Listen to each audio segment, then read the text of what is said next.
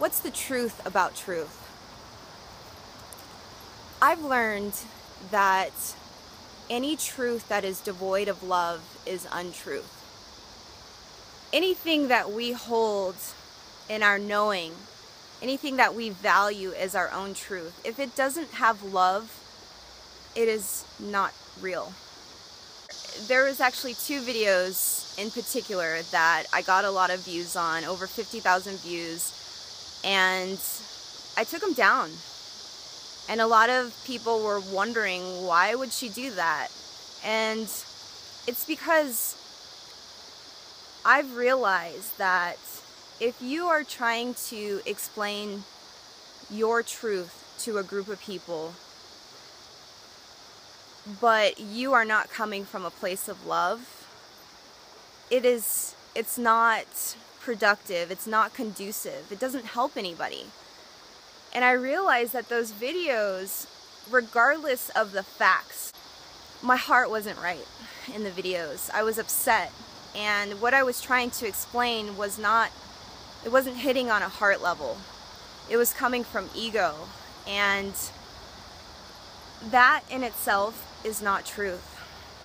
I had to take them down, you know. I after a while I realized that the energy that I was receiving back from those videos was the exact replica of the energy that I was putting out. You see, because the truth can actually be used as a weapon.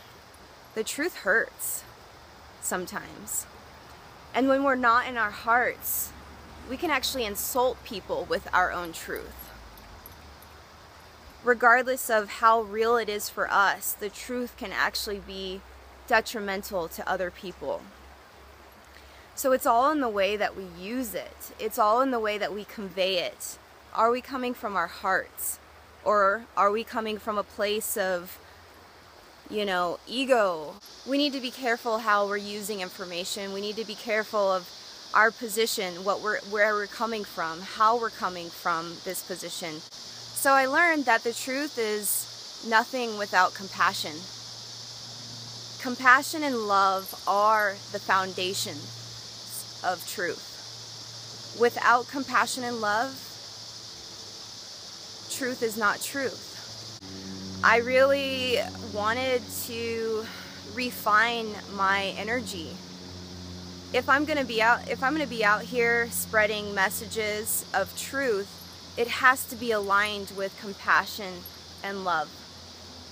You see, because truth without love is untruth. I've also learned that the truth is relative. What's true for me may not be true for you. We all have our own universe. We all carry our own understanding and experience of this reality. And so we that right there shows us that we have to have compassion for other people's understanding. We can't beat our truth over the heads of other people, you know? So it's imperative that we come from a place of love, compassion, and understanding when we're trying to convey our own truths. We have to let other people have their own experience.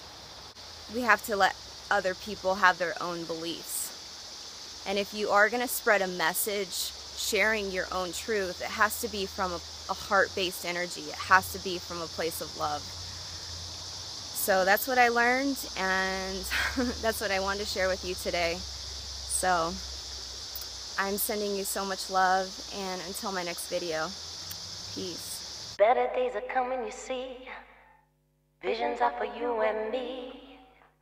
Elevate your soul.